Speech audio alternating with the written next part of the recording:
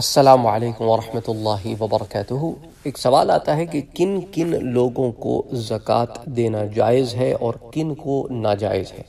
तो देखें जी, अपने माँ बाप को आप ज़क़़त नहीं दे सकते। अब माँ बाप में दादा दादी भी आ गए तो ऊपर तक चली गई ना बात। इसी तरह अपनी औलाद को भी ज़क़़त नहीं दे सकते। इसी तरह शौहर बीवी को ज़क़़त नहीं दे सकता, बीवी शौहर को ज़क़़त नहीं दे सकती। फिर जो लोग खुद साहिब निसाब हों, इनको भी ज़क़़त नहीं दी जा सकती। हुजूर सल्लल्लाहु अलैहि वसल्लम के ख़ानदान बनु हाशिम, इनको भी ज़क़़त देने का हुक्म नहीं है।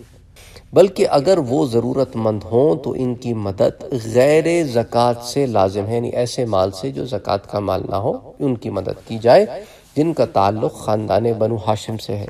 अब उस पर भी मैं बात करता हूँ कि इससे मुराद क्या है?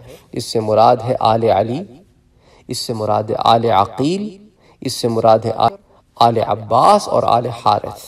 ये वो पाँच ख़ानदान हैं जिनका ताल्लुक़ बनु हाशिम से है और जिनकी नस्ल आगे भी चली और बाकी की नस्ल आगे नहीं चली। तो इसलिए इन पाँच का ने ज़िक्र किया है कि इन पाँच बुज़ुर्गों की नस्ल से जो हो, उसको ज़क़़त नहीं दी जा सकती। अगर वो गरीब और ज़रूरतमंद हो तो दूसरे फंड से उनकी खिदमत करनी चाहिए। अच्छा फिर इसमें एक मौक़ हमारे यहाँ अहनाफ के नज़दीक ये भी पाया जाता है कि क्या सैयद सैयद को ज़क़़त दे सकता है? तो इसमें एक गुंजाइश है कि सैयद सैयद को ज़क़़त दे सकता है। गो के बाज़ हजरात इसके भी कायल नहीं हैं। वो कहते हैं कि बस सैयद को मुतलकन दी ही नहीं जा सकती। तो एक मौक़ भी है कि सादात सादात को दे सकते हैं। गैर सादात सादात को नहीं दे सकते। अब इसमें कुछ और आरा भी हैं, वो भी आपसे शेयर करूँगा। अच्छा इसी तरह ये भी बता दूँ कि भाई भाई को जक़ात दे सकता है, इसी तरह भाई बहन को भी जक़ात दे सकता है, इसी तरह बहन भाई को जक़ात दे सकती है, चाचे को जक़ात दी जा सकती है, भतीजे को, मामू को, भांजे को, इन रिश्तों में जक़ात दी जा सकती है। तो चूँकि हाशमी जो है, वह हज़रत सल्लल्लाहु अलैहि वसल्लम का ख़ानदान है, हुजूर सल्लल्लाहु अलैहि वसल्लम ने अपने लिए और अपने मुतल्लिकीन के लिए ज़क़़त को ममनू करार दिया है। ये हजरात अगर ज़रूरतमंद हो तो गैर ज़क़़त फ़ंड से इनकी खिदमत करनी चाहिए। और हुजूर सल्लल्लाहु अलैहि वसल्लम की कराबत का लिहाज रखते हुए इनकी खिदमत करना बड़े अजर का मौजूद है। तो भाई, सादात को ज़क़़त से मुतल ये भी मैं आपको बता दूँ कि देखें, ज़क़़त जो है ना, लोगों के माल का मैल है। और हुजूर सल्लल्लाहु अलैहि वसल्लम की आल को इससे मुलविस करना मुनासिब न था। वो अगर ज़रूरतमंद हो तो पाक माल से इनकी मदद की जाए और अगर आप सल्लल्लाहु अलैहि वसल्लम की आल को ज़क़़त देने का हुक्म हो, देने का हुक्म होता तो एक नावाकिफ को वसवसा हो सकता था कि यह खूबसूरत निज़ाम अपनी औलाद ही के लिए माद अल्लाह जारी नहीं फरमा गए। तो इसीलिए बहुत सारे लोग जो इस्लाम पर मुख्तलिफ़ किस्म के जो है वो आरोप लगाते हैं इल्ज़ाम लगाते हैं, वो इस चीज़ को यूँ लेते और जिन लोगों के दिल में बुग्ज़ है, इनाद है, वो इस चीज़ को और बढ़ावा देते और इसका एक नफसियाती पहलू भी है और ये है कि आप सल्लल्लाहु अलैहि वसल्लम की आल को ज़क़़त देना जायज़ होता तो लोग आप सल्लल्लाहु अलैहि वसल्लम की क़राब, क़राबत की बिना पर उन्हीं को ज़क़़त देना तरजीह करते और फिर बाकी लोग महरूम रह जाते और वो कहते कि भाई सादात ही की खिदमत करो तो सारा ज़क़़त का माल सिर्फ़ सादात ही को दिया जाता और फिर वो इस्लामिक प्रिंसिपल जो है डिस्ट्रीब्यूशन ऑफ़ वेल्थ वो किल हो जाता और चंद लोगों के हाथ में फिर माल पहुँच जाता। तो गैर सैयद को जक़ात देने पर इनका दिल मुतमिन ही नहीं होता। इससे दूसरे फ़करा को फिर शिकायत पैदा हो सकती थी। तो इसीलिए जो है, सुन्नी मौक़ जो है, वो मैंने आपके सामने यही रखा है। अहल तशी हजरात के हाँ क्या मौक़ है? इससे मैं वाकिफ़ नहीं हूँ। हुजूर सल्लल्लाहु अलैहि वसल्लम का इरशाद जो है, उसको सामने रखते हुए उलमा ने ये मसला यूँ इस्तेमाल किया है और चूँकि हुजूर सल्लल्लाहु अलैहि वसल्लम ने इस माल को मैल कहा है। अच्छा इसमें एक राय ये निकलती है कि अगर एक सैयद आदमी है, उसकी शादी हो गई किसी गैर सैयद खातून से और वो गरीब है और वो ज़क़़त का हकदार भी है लेकिन चूँकि सैयद है और देने वाला गैर सैयद है, वो उसको ज़क़़त तो दे नहीं सकता।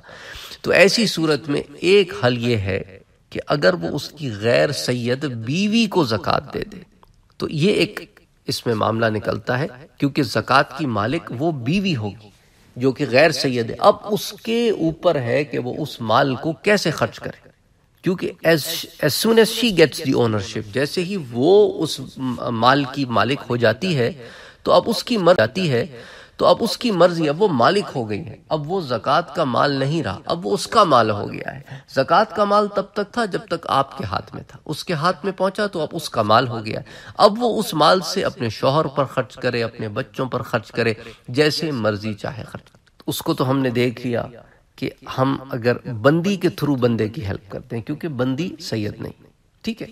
अच्छा अगर किसी सैयदा की शादी हो जाए गैर सैयद से, और दोनों की अजदवाजी ज़िंदगी से आगे औलाद भी हो, और किसी वजह से दोनों में अलहदगी हो जाए। बच्चे औरत के पास आ गए, लेकिन औरत गरीब है, और बंदा जो है वो उसको पैसे भी नहीं देता कि बच्चों की परवरिश की जा सके। और जो औरत है, उसके अज़ीज़, अकरबा, बहन भाई माँ बाप वगैरह, वो भी परवरिश नहीं दे कर सकते उसकी। तो ऐसी सूरत में अब आप क्या करेंगे? क्योंकि बंदी तो सैदा है, उसको तो आप जक़ात दे नहीं सकते। ऐसी सूरत में क्या करें देखें जी, क्योंकि बच्चे सैयद नहीं हैं। बच्चे जो हैं, वो सैयद नहीं हैं, क्योंकि उनका बाप सैयद नहीं था। तो ऐसे मामले में उन बच्चों को आप जक़ात दे सकते हैं और जक़ात देना ठीक हो जाएगा। क्योंकि आप जो है उन बच्चों को उसका मालिक बना रहे हैं, उस औरत के हाथ में मिल्क नहीं दे रहे। उन बच्चों के हाथ में मिल्क दे रहे हैं, फिर उन बच्चों के थ्रू उस औरत के पास आ जाए तो आप तक जब तक थी, जक़ात थी, वो बच्चों की मिल्क में आ गई तो वो जक़ात नहीं, उनका माल है। वो माल अपनी माँ को दे दें, फिर उनकी माँ उन पर खर्च करे तो ये एक तरीका हो सकता है, क्योंकि वो बच्चे जक़ात वसूल कर सकते हैं, या वो औरत बच्चों के लिए जक़ात वसूल कर सकती ये भी एक मौकफ हो सकता है। कि वो ले तो ले, लेकिन नीयत ये हो कि बच्चों के लिए ले रही हैं और चूँकि बच्चे जो है वो सादात नहीं तो ये एक तरीका हो सकता इसी तरह बहुत सारे आपके आयजा अहबाब अकारब ऐसे होते हैं, जिनके बारे में आपको समझ नहीं आता, के बारे में आपको समझ नहीं आता कि आया ये मुस्तक हैं, बज़ाहिर नज़र समझ में नहीं आता ना, किसी से आप पूछ तो नहीं सकते जाके जो आपका इतना करीबी हो कि भाई आप जक़ात लेते हैं। वो एक खुद भी अनकंफर्टेबल होगा, सफ़ेद पोश आदमी, वो कभी भी नहीं बोलेगा अपनी ज़बान से। तो ऐसे मामले में फिर आप क्या करें कि आप ज़ाहिर का एतबार करते हुए, अगर ज़ाहिर हाल के मुताबिक दिल मानता है तो फिर ये मुस्तक होगा, उसे दे दें। ज़्यादा खोज ना करें कि खाम खा में ना उसका, उसकी फीलिंग्स हर्ट हो, वो मजरू हो। किसी का दिल तोड़ के ना दें और ये भी आपको बताने की ज़रूरत नहीं होती पैसे देते हुए, ज़क़़त के कि भाई ये ज़क़़त के पैसे ले जाओ। किसी, वो एक आदमी जो है, वो उसकी फीलिंग्स हर्ट होती हैं कि यार ये हमें ज़क़़त का माल दे रहा है। बस आप अपने दिल में नीयत करें, ये ज़क़़त का माल है, उसे बताने की ज़रूरत भी नहीं है। बहुत सारे लोग से समझते हैं, शायद बता के देना होता है, बताने की ज़रूरत नहीं होती, ये आप मामला है, आप बस उसे दे दें और ख़त्म करें। अच्छा बाज़ दफ़ा क्या होता है कि लोग चूँकि रमज़ान ही में ज़क़़त निकालते हैं तो अब उसके अंदर क्या होता है कि कभी अज़ीज़ व अकारब को जब रमज़ान में पैसे दिए जाते हैं तो वो लेने से इनकार कर देते हैं, क्योंकि उनको ये बात का शुबा होता है कि ये ज़क़़त का माल होगा और ये हमें ज़क़़त से हेल्प कर रहा है इस्पेशली अगर वो आपके बड़े हों तो वो और बुरा मान जाते हैं। तो ऐसी सूरत में कोशिश करें कि गैर रमज़ान में उनकी हेल्प कर दें। ज़क़़त ही का पैसा गैर रमज़ान में उन तक पहुँचा दें, ताकि मकसद तो उनकी मदद करना है, ताकि उनकी इज़्ज़त नफ्स भी मजरू ना हो, उन्हें बुरा भी ना लगे, उन्हें ख्याल भी नहीं आए कि ये हमारी ज़क़़त के माल से मदद कर रहे हैं। तो इस तरह एक मोहब्बतें भी बंधी रहेंगी और इज़्ज़त भी बंधी रहेगी। तो आप छोटी छोटी बातों का अगर ख्याल करें तो बेहतर है। इसी तरह बाज़ दफ़ा क्या होता है कि लोग जॉब तो कर रहे होते हैं लेकिन वो जॉब ऐसी नहीं होती कि उसके बाद भी वो साहिब निसाब बन सके। बहुत मामूली सा काम कर रहे होते हैं, मुश्किल से घर का खर्च चल रहा होता है। तो सिर्फ़ इसीलिए कि बंदा कमा रहा है तो साहिब निसाब नहीं है, ये कोई रूल नहीं होता। बाज़ दफ़ा क्या होता है कि लोग जो है वो मामूली हैसियत का काम करते हैं। आमदनी इतनी नहीं होती कि घर के अखराज अच्छे तरीके से चल सकें। रिहायशी मकान भी किराए का होता है, कभी किराए के पैसे भी होते हैं, नहीं होते। तो ऐसे उम्र में अगर वो ज़क़़त के मुस्तक हैं तो ज़क़़त की मद से उनकी मदद ज़रूर करनी चाहिए।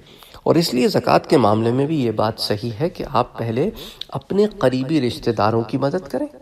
और अपने करीबी रिश्तेदारों की मदद से जब आप फारग हो जाएँ और फिर भी आपके पास माल बच जाए तो फिर आप गैर को दें। ऐसा ना हो कि गैर की तो आप बहुत मदद करें और आपके करीबी रिश्तेदार, अज़ीज़ व अकारब, दोस्त, अहबाब, जो ज़क़़त के मुस्तकिन हैं, वो महरूम रहें तो चिराग तले अंधेरा ना बने। इसी तरह इसी तरह जिसको आप ज़क़़त दे रहे हैं, उस पर आप शर्त भी आयद नहीं कर सकते कि ये ज़क़़त का पैसा उसी मसरफ में खर्च होगा। या उसी काम में खर्च होगा, या उसी पर खर्च होगा, ऐसा भी नहीं कर सकते। मिसाल के तौर पर अगर किसी ने अपने वालिद की हेल्प करनी है, लेकिन अब चूँकि वालिद को ज़क़़त नहीं दे सकते तो उसने अपने भाई को वकील बना लिया और भाई से कहा कि भाई, ये पैसा मैं तुम्हें दे रहा हूँ, ज़क़़त का पैसा है, खर्च सिर्फ़ वालिद साहब पर होगा, ऐसा भी नहीं कर सकते आप। अगर भाई को ज़क़़त देना मकसूद नहीं, बल्कि वालिद को देना मकसूद है और भाई महज वकील है तो भाई को देने से ज़क़़त अदा नहीं होगी क्योंकि आपने शर्त के साथ और आप बेसिकली तो वालिद साहब के लिए दे रहे हैं और वालिद को ज़क़़त दी नहीं दी नहीं जा, जा सकती। तो ये हीले जो है इस मामले में नहीं चलेंगे। और अगर सिर्फ़ डायरेक्ट भाई को देनी है और भाई जो है वो ज़क़़त का के मुस्तहक भी है तो मामले में भाई को आप डायरेक्ट दे दें कोई शर्त ना लगाएँ उस पर। उसकी मर्ज़ी, जब वो मालिक हो जाए तो वो जिस मसरफ में चाहे उसको खर्च करे, क्योंकि अब वो मालिक है उस माल का। शर्त के साथ जक़ात ना दें। बहरहाल ये चंद और मसाइल थे जो इस ज़मीन में मैंने चाहा कि इसमें आपको डिस्कस करूँ और एक आखिरी बात भी कर दूँ कि बेटा बेटी, पोता पोती और नवासी या नवासा, इनको भी ज़क़़त नहीं दे सकते। भतीजा भतीजी को दे सकते हैं। इसी तरह दादा, परदादा, दादी, परदादी, इधर भी ज़क़़त नहीं जा सकती तो ऊपर भी नहीं जा सकती और लिनेज में नीचे भी नहीं जा सकती। बहन भाइयों को दी जा सकती है, चचा मामू को दी जा सकती है, खाला को दी जा सकती है, फूफी को दी जा सकती है, लेकिन इन रिश्तों में नहीं दी जा सकती। बेटा, बेटी, पोता, पोती, नवासा, नवासी, दादा, दादी, माँ, बाप, बीवी, शोहर, इन रिश्तों में ज़क़़त नहीं दी जा सकती। अस्सलाम